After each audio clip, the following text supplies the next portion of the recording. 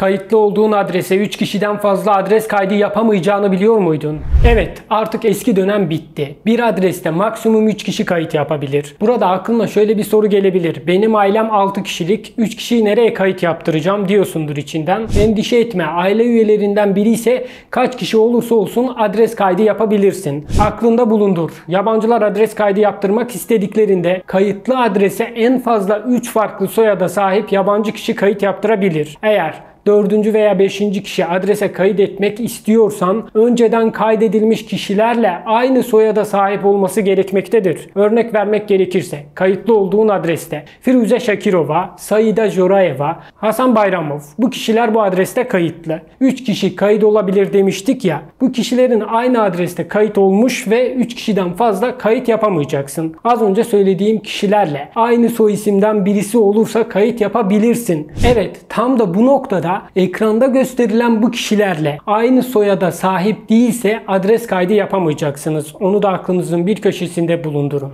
Bu video bana lazım olmaz deme. Bakarsın bir gün lazım olur. Bu videoyu kaydet. Tüm sevdiklerinle ve WhatsApp grubundaki arkadaşlarınla paylaş. Daha fazlası için bizi takip etmeyi unutma sakın.